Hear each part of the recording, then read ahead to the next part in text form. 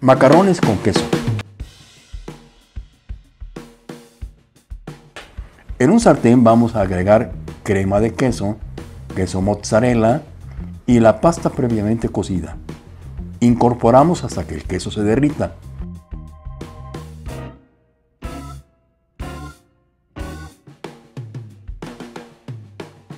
Quitamos del fuego y le añadimos pan molido, parmesano y queso cheddar. Ponemos en el horno unos minutos y listo.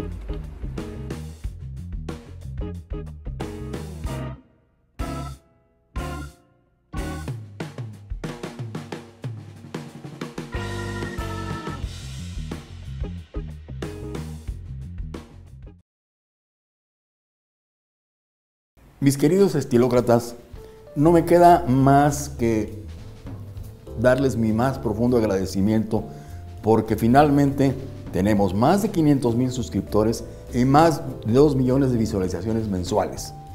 Y con estos 2 millones de visualizaciones queremos ofrecerles a ustedes la posibilidad de promoverse a través de nosotros.